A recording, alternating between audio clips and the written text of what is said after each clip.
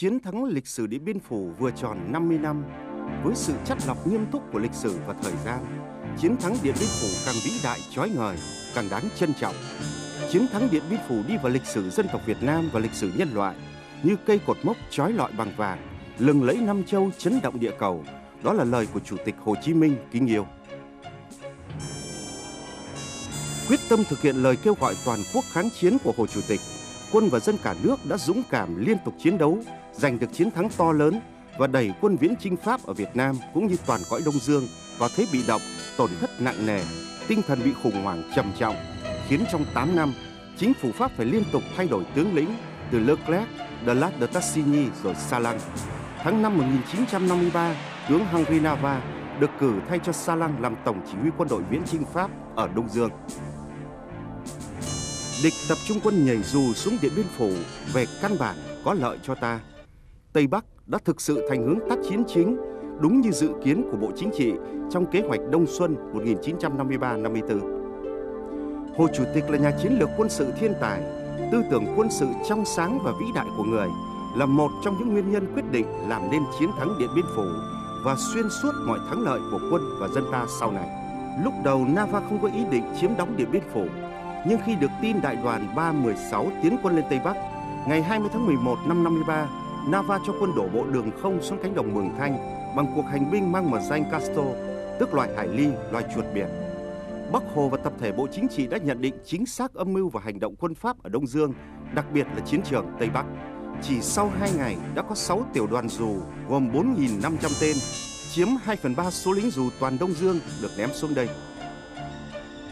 Tổng quân ủy nhận định địch có thể tập trung về Điện Biên Phủ và biến Điện Biên Phủ thành một tập đoàn cứ điểm lớn, kiên cố và vững chắc. Bộ phận tiền phương chiến dịch do đồng chí Hoàng Văn Thái, Tổng tham mưu phó phụ trách đã được lệnh lên đường ngày 26 tháng 11 năm 53.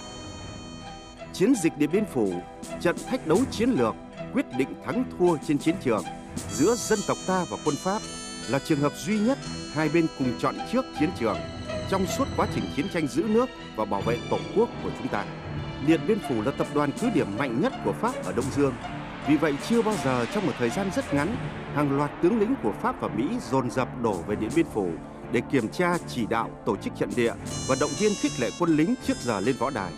Từ Nava, Cô Nhi cho đến Nixon, Phó Tổng thống Mỹ, Pleven, Bộ trưởng Bộ Quốc phòng Pháp hay O'Daniel, một vị tướng Mỹ, tên này sau khi đi thị sát hệ thống phòng thủ Điện Biên Phủ đã hoanh hoang thốt lên Điện Biên Phủ là thành lũy không thể công phá.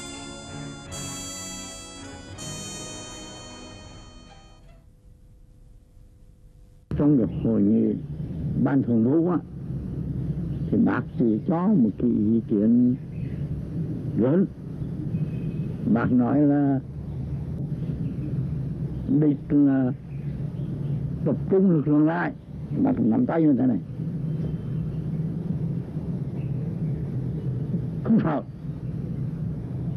thì ta buộc nó phân tán ra. Thì bác chia tay ra. Và ta sẽ đánh từng cánh. Chấp hành mệnh lệnh của bác, quân và dân ta dồn dập liên tục mở những chiến dịch, những trận đánh khắp nơi, từ Lai Châu, Thượng Lào, Trung Lào đến Hạ Lào, Liên khu 5 và Tây Nguyên, buộc quân viễn chinh Pháp phải phân tán dàn mỏng lực lượng.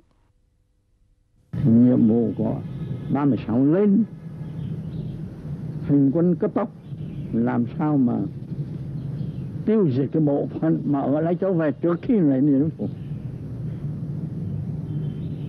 Thế nhưng thế mà lúc đó thì cái đại đoàn mà ba trăm năm một mà công pháo đấy cũng đã lên đường rồi trong cái hội nghị đó là quyết định tiêu diệt địch ở Điện Biên Phủ. Nhiệm vụ quyết tâm tiêu diệt địch ở Điện Biên Phủ đã rõ ràng. Theo kế hoạch tác chiến của Bộ Tổng Tư lệnh, các đơn vị chủ lực của ta được bí mật bất ngờ điều lên Tây Bắc. Kẻ thù phát hiện điên cuồng chút hàng ngàn tấn bom đạn vào đội hình và cây sới lở loét các con đường về Điện Biên. Mà dù bom rơi đạn nổ, quân ta cứ tiến về phía trước. Đường hỏng, dân quân và bộ đội sửa ngày đêm kịp thời, kết hợp bạt núi băng rừng, mở thêm nhiều tuyến đường mới phục vụ cho từng đoàn xe cơ giới, kéo pháo, vũ khí, lương thực và các cánh quân dồn về một hướng, Tây Bắc, Điện Biên Phủ. Đại tướng Võ Nguyên Giáp đến chào Bắc Hồ trước khi lên đường đi chiến dịch. Bác hỏi, chú đi xa như vậy chỉ đạo chiến trường có gì trở ngại? Thưa bác, chỉ trở ngại là ở xa, khi có vấn đề quan trọng khó xin ý kiến của bác và Bộ Chính trị. Tướng quân tại ngoại, trao cho chú toàn quyền quyết định rồi báo cáo sau. Khi chia tay bác nhắc, trận này rất quan trọng, phải đánh cho thắng, chắc thắng mới đánh, không chắc thắng, không đánh.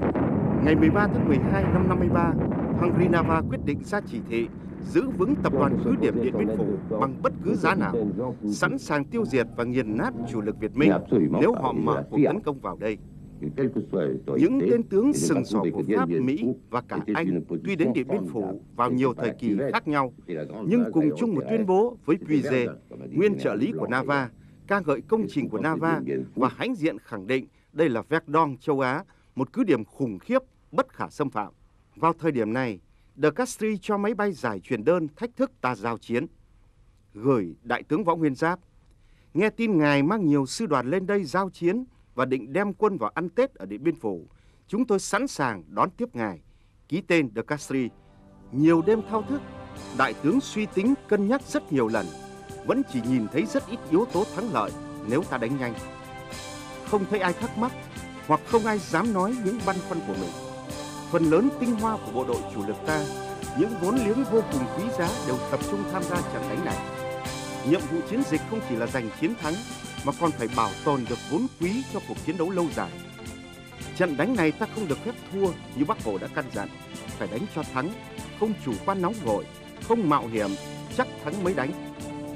Không còn thời gian báo cáo xin ý kiến Bộ Chính trị, tôi đồng ý triệu tập hội nghị triển khai chiến đấu. Trận đánh quyết chiến chiến lược sắp tới với phương án đánh nhanh, thắng nhanh, dự kiến sẽ diễn ra trong 2 ngày 3 đêm, là một thử thách lớn chưa có trong chiến tranh chống thực dân Pháp.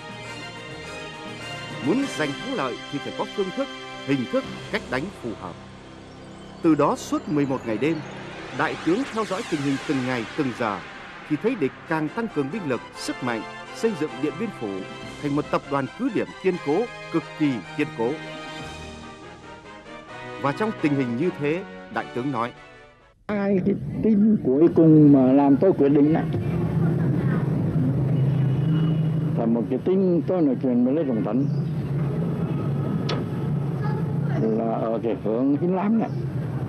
Thì Lê Trọng Tấn nói là nhiệm vụ của tôi là phải đột phá cho đến Mường Thanh trong lúc mà ba đến tám là nhiệm vụ nặng nhất thì là thọc vào tôi quyết tâm làm nhiệm vụ nhưng mà làm cái nhiệm vụ này thì tôi phải là liên tục đột phá ba cái tuyến một cái tính thứ hai mà để nói dân chủ trong bộ đội ta về nói là cái cái cái cái, cái dung cảm kiên trì chân lý là anh Kiệt, ở bên phía à, phía Tây Bắc hả? Thế anh Kiệt anh mới telephone cho tôi này, anh Văn à? tôi ở đơn vị pháo đây. Pháo, triển khai bằng công sự giả chiến ở giữa cánh đồng. Ban ngày bom đạn của địch thì chắc chắn không một chỗ được. Đề nghị anh cân nhắc. Chỉ có kiệt mới dám nói cái câu đó mà nói rất thẳng tôi cũng nói như thế. Là quyết tâm tiêu diệt tình đình và người như cô. Nhưng mà tình hình thay đổi, bây giờ phải thay đổi. Mai này rút sáng ra vị trí tập kết.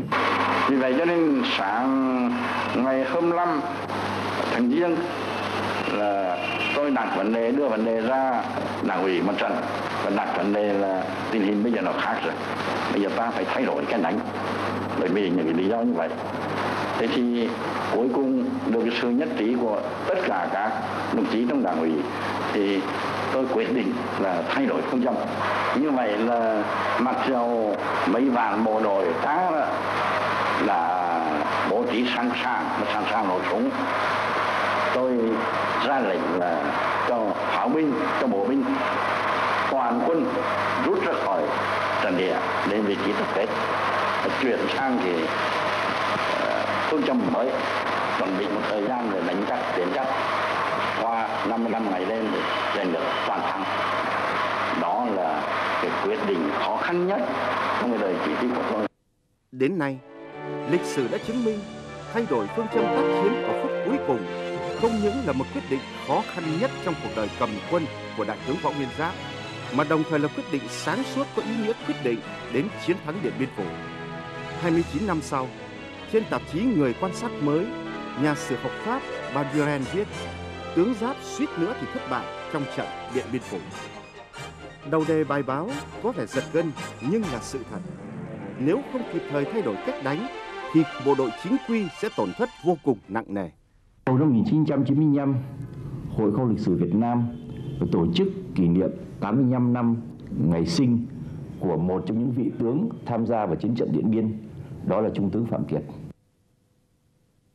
Tại cái lễ kỷ niệm này, Đại tướng Võ Nguyên Giáp đã đọc một bài phát biểu trong đó đã nêu lên một cái chi tiết mà đối với người làm sửa chúng tôi thấy hết sức quý giá cho phép tôi được đọc ở đây ờ, một phần trong cái bài phát biểu của đại tướng Võ Nguyên Giáp mà chúng tôi lưu trữ được tại mặt trận Điện Biên Phủ cùng với nhiệm vụ phụ trách công tác bảo vệ tướng Phạm Kiệt đã được tôi cử đi kiểm tra công tác chuẩn bị chiến trường ở phía đông bắc anh đã đến tận nơi kiểm tra trận địa pháo binh phát hiện sự nguy hiểm bố trí pháo binh giã chiến tại một địa bàn tương đối bằng phẳng Lúc bây giờ toàn thể cán bộ và chiến sĩ đang hăng hái triển khai kế hoạch đánh nhanh. Bản thân tôi thì đang khẩn trương theo sát tình hình, củng cố của địch và suy nghĩ về quyết định thay đổi phương châm. Chính vào lúc đó thì nhận được ý kiến của anh Phạm Kiệt, phát biểu bằng điện thoại. Anh trình bày vắn tắt tình hình và là người duy nhất lúc đó đã đề nghị tôi xem xét lại kế hoạch đánh nhanh. Sau này, tôi mới biết rằng có cán bộ lo ngại, nhưng khi đó không một ai nói lên ý thật của mình vì ngại cho là dao động. Tôi đánh giá rất cao ý kiến của tướng Phạm Kiệt. Ý kiến ấy cùng với những tin tức chính xác từ nhiều mặt gửi về đã cung cấp cho tôi căn cứ quan trọng để đề ra với đảng ủy thay đổi phương châm tác chiến, rút quân ra, chuyển sang kế hoạch mới, đánh chắc, tiến chắc. Phần cuối, Đại tướng nhấn mạnh, tôi càng thấy rõ anh Kiệt là một cán bộ có trình độ chính trị và quân sự, có tinh thần kiên định, lại có bản lĩnh vì nghĩa lớn, nói lên sự thật không chút ngần ngại. Ông Bình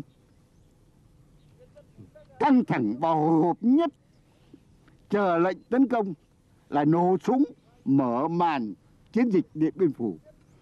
Thì cũng là lúc chúng tôi nhận được lệnh rút pháo ra khỏi trần địa tấn công về địa điểm tập kết. Đồng chí Phạm Ngọc Hậu, à, chính ủy pháo binh thở phào nhẹ nhõm thốt lên được lời như cười tấm lòng nhưng là tư lệnh pháo binh tôi không thể không ngỡ ngàng và xúc động nhưng chúng tôi đều là lính cụ hồ hết lòng tin tưởng ở trên nên đã nghiêm chỉnh chấp hành mệnh lệnh các đơn vị pháo binh, bộ binh bí mật rút quân về vị trí tập kết ban đầu cũng rất gian khổ, ác liệt và dũng cảm hy sinh. Vào thời khắc đó, Bộ Chỉ huy quân Pháp ngơ ngác suy đoán tại sao ta lại rút quân ra. Lẽ nào tướng Giáp không dám mạo hiểm tập kích Điện Biên Phủ? Mặt khác, chúng tiếp tục đêm ngày tăng quân, chi viện và củng cố Điện Biên Phủ vững chắc hơn, uy lực hơn. Các tướng Pháp được tung ra khắp nơi kiểm tra, hô hào, khích lệ và thị sát tập đoàn cứ điểm liên tục. Không quân và pháo binh của chúng không tiếc bom đạn chút xuống hòng tiêu diệt và cản đường rút của quân ta. Bộ binh cùng tăng thiết giáp thì tìm quân ta để diệt. Một lực lượng quan trọng bộ đội và dân công hỏa tuyến vẫn tập trung sửa đường, làm thêm cầu, mở đường thắng lợi, đào và xây dựng các sở chỉ huy, hầm pháo, chiến hào vững chắc nhằm đảm bảo an toàn cho quân ta, giảm bớt thương vong không cần thiết anh Văn viết thư hỏa tốc gửi bác và Bộ Chính trị báo cáo về việc thay đổi phương châm. Mấy hôm sau, anh Văn nhận được thư của anh Trường Trinh báo rằng bác và Bộ Chính trị cho rằng quyết định thay đổi phương châm là hoàn toàn đúng đắn. 50 năm ta nhìn lại Điện Biên Phủ thì rõ ràng lịch sử đã chứng minh như chúng ta thấy rõ trong nhiều nhân tố tạo nên thắng lợi của Điện Biên Phủ thì rõ ràng thì quyết định thay đổi cách đánh không những là quyết định sáng suốt mà còn là cái nhân tố có ý nghĩa quyết định trực tiếp đến chiến thắng điện biên phủ công tác giáo dục chính trị, lãnh đạo tư tưởng vào thời điểm này rất quan trọng và thiết thực.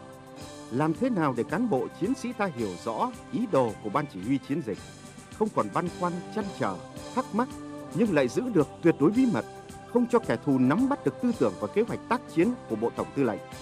Đại tướng Tổng Tư lệnh xuống tận các đơn vị truyền đạt quyết tâm tiêu diệt tập đoàn cứ điểm Điện Biên Phủ trước giờ quân ta tiến vào trận địa chiến hào xuất kích.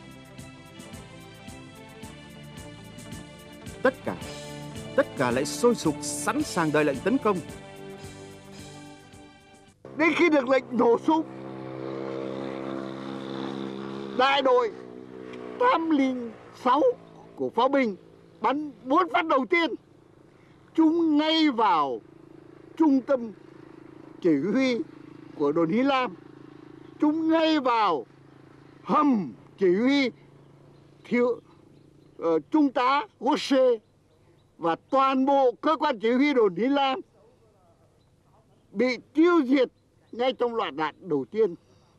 Tiếp đó với hai chục viên đạn cấp tập chúng tôi đã cùng với bộ binh và cao xạ tiêu diệt gọn đồn Hí Lam.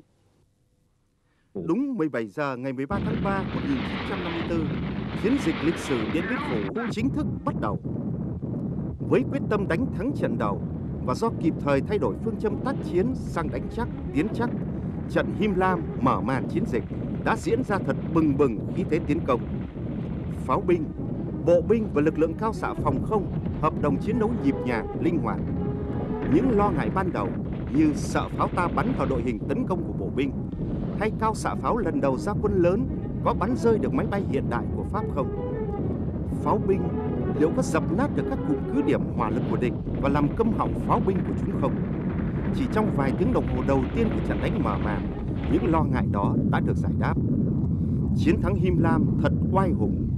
Chỉ hơn 8 tiếng đồng hồ, quân ta tiêu diệt 300 tên, bắt sống 200 tù binh và làm chủ hoàn toàn cứ điểm Him Lam lúc 23 giờ 30 phút ngày 13 tháng 3 1954. Chiến thắng trận đầu là truyền thống vẻ vang của quân đội ta. Chiến thắng Him Lam còn được tô thắm thêm bởi dòng máu của những đồng đội đã ngã xuống, bởi gương dũng cảm hy sinh ngời sáng của anh hùng Phan Đình Giót, hiến dâng cuộc sống để dập tắt hòa điểm địch. Với truyền thống nhân đạo, Mạc Ninh, chính ủy trung đoàn Đầm Hà được sự ủy nhiệm của Bộ Chỉ huy Mặt trận đã gửi thư cho De Castri cho phép vào nhận lính bị thương. Được lệnh của cấp trên, tôi báo cho ngài biết, đúng 8 giờ sáng ngày mai, các ngài được phép đưa một trung đội không vũ khí, có xe hồng tập tự, người đi đầu phải mang cờ trắng đến Him Lam nhận những người bị thương về.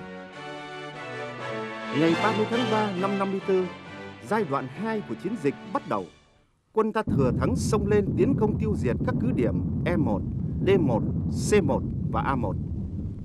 Đặc điểm của giai đoạn này, Nava và Cô Nhi quyết tâm cố thủ Điện Biên Phủ nên đã tập trung rất lớn các loại máy bay từ khắp Đông Dương lao lên Điện Biên Phủ, hòng dùng bom đạn đè bẹp lực lượng và ý chí của quân ta. Nhưng chúng đã thất vọng. Pháo cao xạ 37 ly lần đầu tiên xuất hiện kết hợp với súng máy phòng không của các binh đoàn chủ lực đã làm cho Bộ Chỉ huy Pháp bàng hoàng, choáng váng, lo âu khiếp sợ và máy bay địch bị uy hiếp nghiêm trọng ta quật tan xác nhiều loại máy bay hiện đại của Pháp và Mỹ.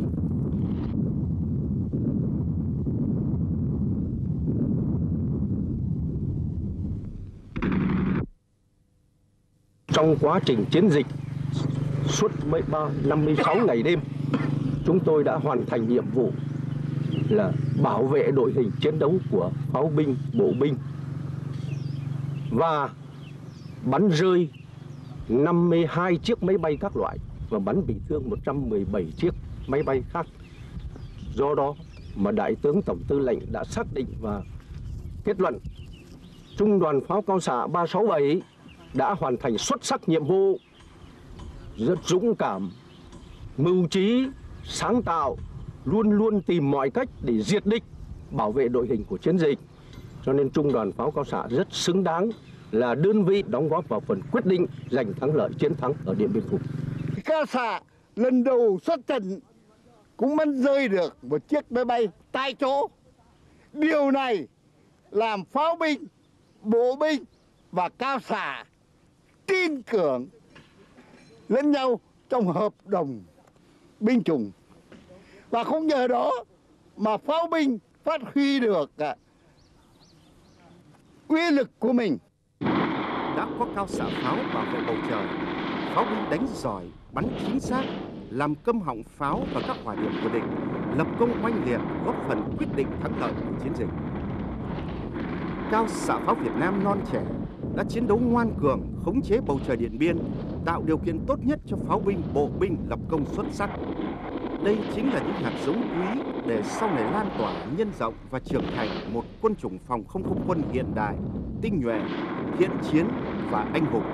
Tiếp tục phát huy truyền thống Điện Biên Phủ, giáng cho không lực Hoa Kỳ những đòn khiếp đảm, hạ gục đo ván chúng bằng chiến công diệu kỳ, bản anh hùng ca Điện Biên Phủ trên không, ngay trên bầu trời thủ đô Hà Nội yêu dấu. Dưới sự lãnh đạo và chỉ đạo tài tình, nhạy bén và sáng tạo của Bác, Bộ Chính trị và Ban Chỉ huy Mặt trận, mà kết tinh và hội tụ nơi trí tuệ của Đại tướng Võ Nguyên Giáp, bộ đội và nhân dân ta trên mặt trận Điện Biên đã biến những khó khăn tưởng chừng không thể vượt qua thành nhiều điều bất ngờ mà quân Pháp không thể tưởng tượng nổi. Biến những đơn vị chưa hề tiêu diệt quá một tiểu đoàn, chưa từng dự một trận đánh lớn giữa ban ngày, chưa một lần hiệp đồng chiến đấu trong đội hình chiến dịch hợp đồng binh chủng bỗng biến thành những chàng lính phù đồng kỳ diệu, những binh đoàn thiện chiến và hùng mạnh, thừa thắng sông lên, đánh thẳng vào trung tâm Đồng Thanh, lần lượt tiêu diệt và làm chủ cứ điểm 505, C1, Nano, A1, C2, rồi 506, 507, 508, 509. Đến 16 giờ chiều ngày 7 tháng 5, ta làm chủ hoàn toàn các cứ điểm phía đông sông Nậm Rốm. Vượt qua những chống trải yếu ớt tuyệt vọng, phát huy thắng lợi và hừng hực khí thế sông lên giành toàn thắng. Những đoàn quân súng mãnh của đơn vị Hoàng Cầm với lá cờ quyết chiến quyết thắng trong tay, vượt qua cầu Mường Thanh sông thẳng vào sở chỉ huy de Castri, phất cao ngạo nghễ báo hiệu chiến dịch lịch sử Điện Biên Phủ đã toàn thắng. Sau này, chính hình ảnh lịch sử hào hùng này trở thành biểu tượng rực rỡ của chiến thắng Điện Biên. Và 50 năm qua, luôn luôn là biểu tượng quen thuộc của dân tộc ta và của nhân loại toàn cầu. De Castri và tất cả bộ tham mưu Điện Biên Phủ ra đầu hàng lúc 17 giờ 30 phút ngày 7 tháng 5 1954. Toàn thắng, Điện Biên Phủ toàn thắng. Quyết định sáng suốt của Đảng Bắc Hồ và Đảng ủy Mặt trận đã tạo nên chiến thắng Điện Biên Phủ hào hùng. Chiến thắng Điện Biên Phủ đã vang dội khắp năm châu vẫn còn sống mãi với thời gian.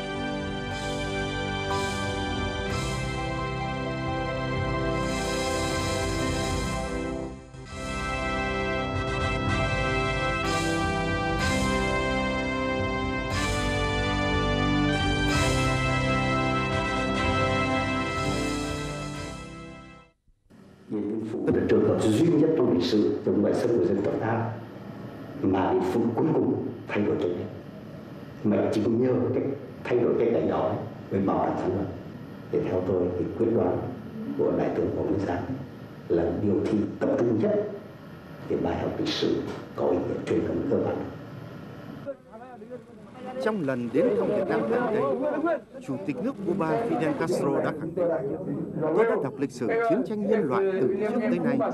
Chưa từng có cuộc chiến tranh nào mà một nước nhỏ kinh tế lạc hậu như ở Việt Nam nhưng vẫn đánh thắng Pháp và Mỹ. Đó là vô song. Trên thế giới chưa từng có, trong lịch sử chưa từng thấy.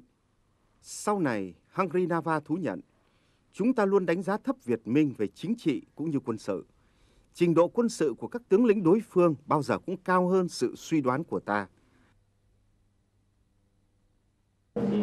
Sau ngày toàn thắng 30 tháng 4 thì tôi và một số các đồng chí ở đơn vị cũ gặp đồng chí Lê Trọng Tấn tại Sài Gòn Giải phóng.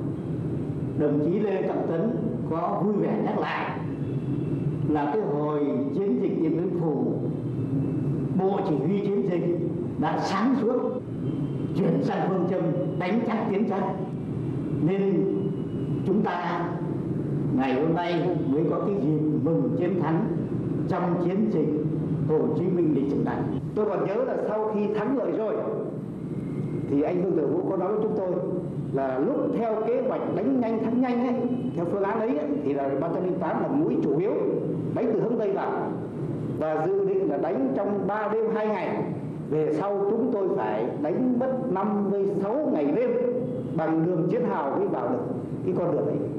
Và anh Vương thử Vũ có kết luận rằng nếu cứ đánh theo cách đánh tranh thắng nhanh thì cuộc kháng chiến sẽ phải lưu lại 10 năm.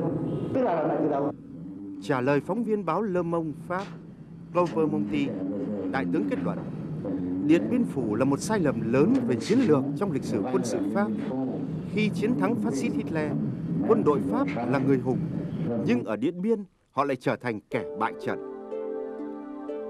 Đất nước, dân tộc đời đời nhớ ơn và ghi công tất cả các anh hùng, liệt sĩ, thương binh đã hiến dâng cao đẹp xương máu và một phần cơ thể của mình cho nền độc lập tự do vĩnh hằng của Tổ quốc Việt Nam yêu dấu.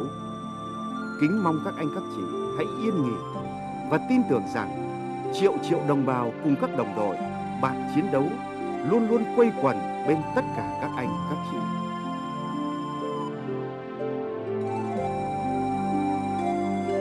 Đồng đội, bạn chiến đấu Điện Biên Phủ năm xưa gặp mặt đầy xúc động tại Bảo tàng Hồ Chí Minh.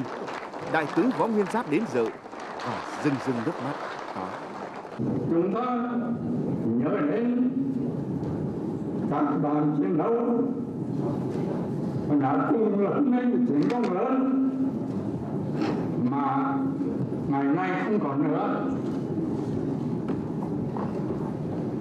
Ảnh hình ảnh các đồng chí còn mãi với non sông đất nước Việt Nam, với tất cả các bạn chiến đấu, với tất cả chúng ta, với quan thể nhân dân, và những người yêu chuộng hòa bình trên thế giới.